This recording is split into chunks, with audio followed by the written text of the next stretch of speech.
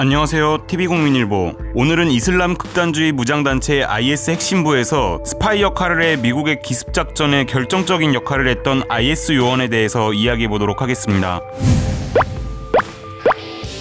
이슬람 극단주의 무장 조직 이슬람 국가 IS 수괴인 아부 바크르 알바그다디에게 걸린 현상금 2,500만 달러가 두더지로 활약한 IS 핵심 요원에게 돌아갈 것으로 보인다고 미국 언론들이 전했습니다. IS 핵심부에서 일했던 이 요원은 알바그다디 제거 작전과 관련해 미국과 쿠르드계 시리아 민주군과 긴밀히 협력해 왔습니다. 워싱턴 포스트는 미국과 중동 지역 관료들을 인용해 이번 급습 작전이 성공하는데 결정적 역할을 한 알바그다디의 은신처 내부 IS 반역자의 정체를 집중 조명했습니다. 그는 국적이 알려지지 않은 순위파 아랍인 남성으로 본래 IS 조직원이었지만 그의 친척 중 한 명이 IS에게 살해당하면서 조직의 반기를 들게 된 것으로 전해졌습니다. 그는 알바그다디의 은신처에서 그의 속옷을 훔쳐나와 작전 수행 전 DNA 검사로 알바그다디의 신원 확인을 가능하게 했던 인물이기도 합니다. 이 남성에 대해 잘 알고 있는 한 관료는 그는 알바그다디에게 믿을 수 있는 조력자로 여겨진 사람이라며 알바그다디가 시리아 북부 이들립 지역의 마지막 은신처로 이동할 수 있도록 돕는 데 깊이 관여했다고 말했습니다. 미군 특수 특수부대는 지난 27일 공개 수배 1호 테러리스트 알바그다디의 은신처를 급습했습니다. 목적지는 시리아 북서부 이들립 지역의 바리샤, 이라크 북부에서 수송헬기 CH-47 치누크 등 헬기 8대가 출동했습니다. 헬기들은 알바그다디의 은신처에 접근했을 때 총격을 받기도 했지만 대응 사격을 가하며 은신처에 접근했습니다. 은신처 정문에 부비트랩 등 폭탄 장치가 설치돼 있을 수 있다고 판단해 은신처 벽면을 폭파하고 진입했습니다. 급습을 당한 알바그다디는 은신처 터널로 도망쳤지만 미 군견 민간이 그를 쫓았습니다. 막다른 길에 몰린 알바그다디는 폭탄 조끼를 터뜨리며 비참한 최후를 맞았습니다. 현장 지휘관은 미 백악관에 100% 확신한다. 잭팟, 그를 잡았다 오버라고 보고했습니다. 알바그다디 제거 작전의 핵심적 역할을 한 IS 요원은 은신처 건물을 짓는 작업을 감독했고 알바그다디의 두터운 신임하에 그의 가족들을 수행해 병원 치료를 받도록 하는 일도 맡았던 것으로 전해졌습니다. 알바그다디가 궁지에 몰릴 경우 스스로 목숨을 끊을 수 있도록 항상 자살폭탄 벨트를 맨 채 움직인다는 정보를 제공한 것도 그였습니다. 미군 특수부대는 미리 가져갔던 알바그다디의 DNA 샘플과 그의 훼손된 신체에서 얻어낸 DNA를 비교한 뒤 숨진 인물이 알바그다디라고 확인했습니다. SDF 지도부는 이 정보원이 진실로 믿을 만한 사람인지 확신이 설 때까지 수주간 조사한 뒤 미 정보당국에 그에 대한 통제권을 넘겼던 것으로 알려졌습니다. 미 관료들은 미국 정보당국은 이 정보원을 특별히 더 주의 깊게 조사했다며 지난 2009년 아프가니스탄 코스트주에서 발생한 미 중앙정보국 참사가 되풀이되는 것을 피하기 위한 목적이라고 말했습니다. 당시 알 알카에다 수계에 대한 유망한 정보를 가지고 있다고 간주됐던 요르단 국적 정보원은 사실 알카에다의 이중 스파이였고 그는 CIA 측과의 회의 중 폭탄을 터뜨려 총 7명의 CIA 요원을 살해했습니다. 알바그다디 제거 작전에 정통한 한 관계자는 그 정보원은 꽤 오랫동안 알바그다디 제거 작전에 열쇠를 쥔 인물이라는 평가를 받아왔다며 단지 최근 몇 주간 이 같은 사실이 심각하게 분명해졌을 뿐이라고 설명했습니다. 영상이 유익하셨다면 좋아요와 구독, 알림 설정 부탁드립니다. 지금까지 TV국민일보였습니다.